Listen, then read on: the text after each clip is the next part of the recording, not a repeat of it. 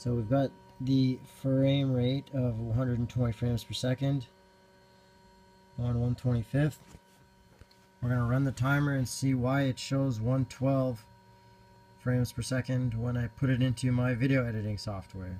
We bring in the file and it shows up to be 112.08 frames per second. See if we can tap right on the keyboard and get 120 frames from 2 seconds to 3 seconds. Let's get back to, okay, 2.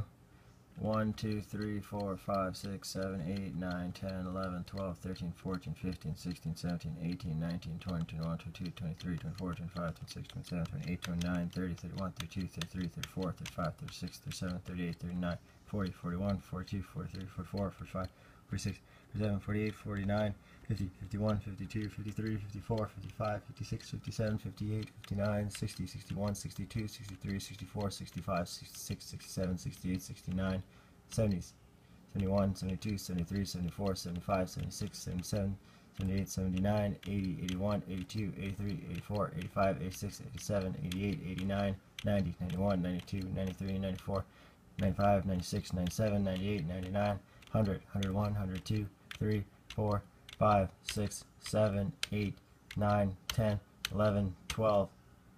So it's 112 frames a second, not 120 frames a second.